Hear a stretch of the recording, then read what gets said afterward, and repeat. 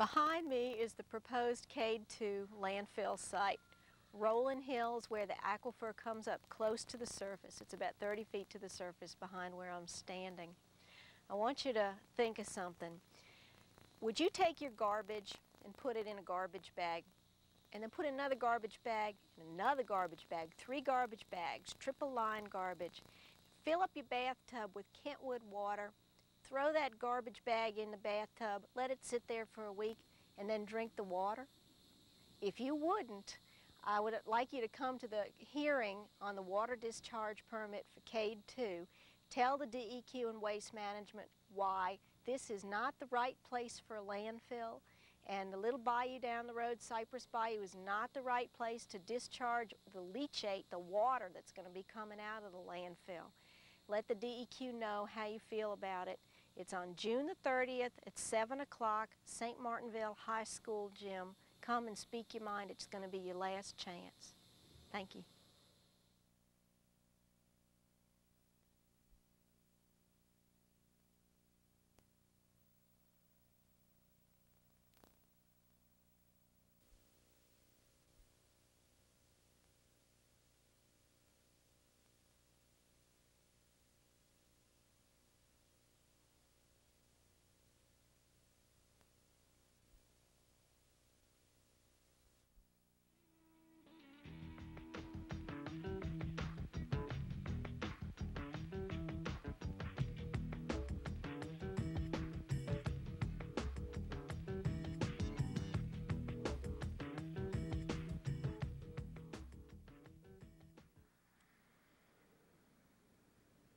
Picture this site with its tall trees and high meadow grass, daffodils in the spring, its rolling hills coming down to a little coulee in the back, as a major landfill site. This is the site of the proposed Cade 2 landfill in St. Martin Parish. There's going to be a water discharge permit hearing for this site on the 30th of June, and this will be the public's last chance to express to the DEQ how they feel about the Cade landfill and garbage from all over the country coming into our backyard, leaking into our water, being dumped into our lakes and bayous, and polluting what we have for the future.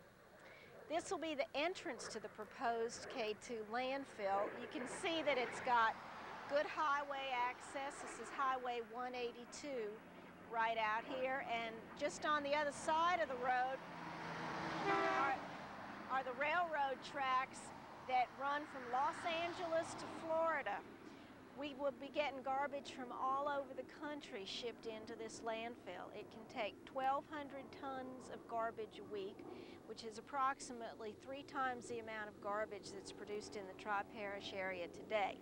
This was never designed to be a local landfill. It was designed to serve the needs of the state, possibly the nation, and now we know because our friends at ChemWaste sued the state of Louisiana, they can bring in hazardous waste from Mexico and put that in Louisiana too. So I don't doubt that residential garbage will be coming in from anywhere they can get their hands on it and bring it in to Cade, Louisiana.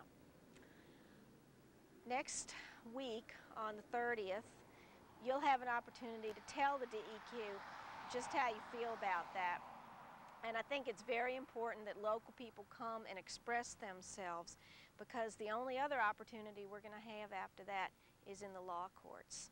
If Cade 2 receives a water discharge permit from the DEQ, they will be able to begin construction. Once they have a shovel in the ground, it's going to be a lot harder to slow down the process. And when we do finally get that permit overturned in court, it may wind up costing some money because you can bet your bottom dollar they're going to sue for damages. So we need to stop this landfill now before construction begins. And the way to stop it is to come to the permit hearing and express how you feel about that.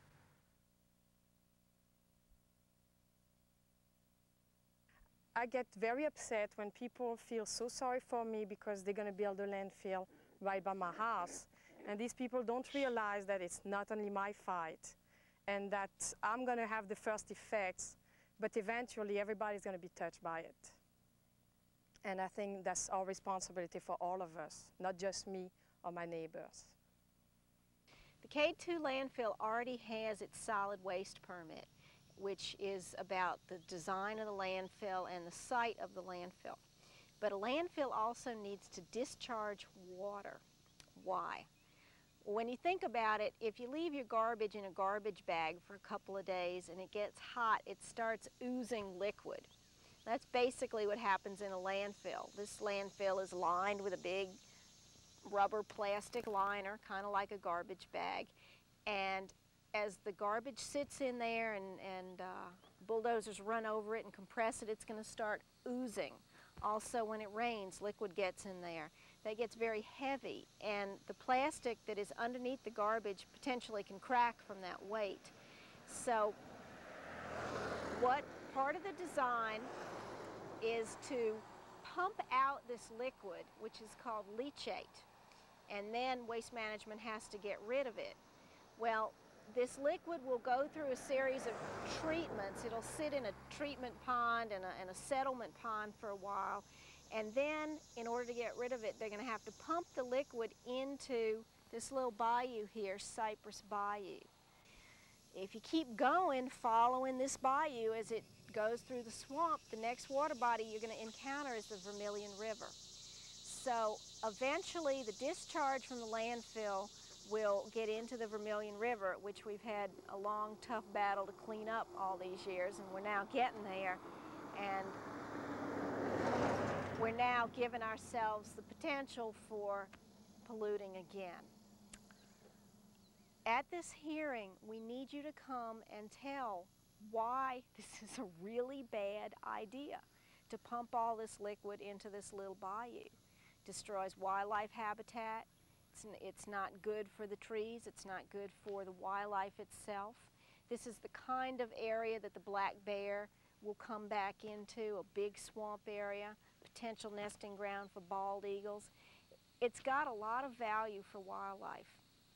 It's also got a lot of value for human beings because of its ability for drainage. What you can do. You can come to the hearing and speak your mind. But this is a very political fight.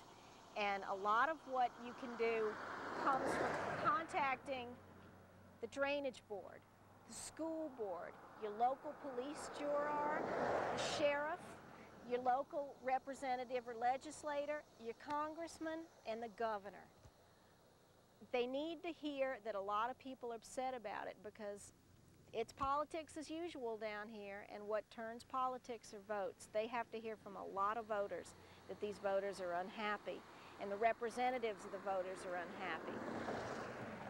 So if you can't make the hearing, at least make the phone call. But please come to the hearing and speak your mind and let the DEQ hear why it's a terrible idea to have this landfill in this site. Because who would want the smell from uh, over here coming, going in the house, and who would want uh, bad water? One of the worrisome things about the discharge from the landfill is kind of the old adage, garbage in, garbage out. Whatever goes into the landfill will come out in the form of leachate. And when you put things in a, a, black plastic bag and put them in your garbage can, that's about the best place to hide your deepest, darkest secrets and mysteries. We don't know what's going to go into that landfill. In Louisiana, supposedly you can't put uh, motor, use motor oil, uh, lead acid batteries, white goods, the kind of things like the Freon that would be in a refrigerator. But in the deep dark night, who knows what goes into that kind of a, a dumpster or a garbage bag and into the landfill. If we're getting garbage in from other states with less stringent restrictions, we don't know what we'll be getting in. That's all going to be mixed up, run over with a bulldozer, squashed, and whatever comes out of that liquid goes into those treatment ponds. There's some things you can treat for and some things that are very difficult to remove like heavy metals. Once those heavy metals get into our water supply, we've had it. PCBs, we've had it. So that's why it's a very serious matter about discharging water into a bayou that is basically a recharge into our aquifer. There are people here whose water wells are 50, 60 feet deep. They're going to be pumping. When you pump back, a discharge that can go into the bayou can be pulled back underground and up into those water wells. There's a lot of interconnection between the, this surface water and the water from the aquifer. And that's why the discharge is equally as distressful, scary to these people and to everybody who drinks water from the aquifer as the landfill itself. I'm also very worried because uh, when Waste Management came for the first time and started digging for sample, they were digging very close to my property line. And when we measured the distance between my uh, water well and the first little hole they dug, that was less than 200 feet. And uh, that seems awfully close to me. So I know that the first time they're going to find pollution inside their sample hole, that's going to be in my water too.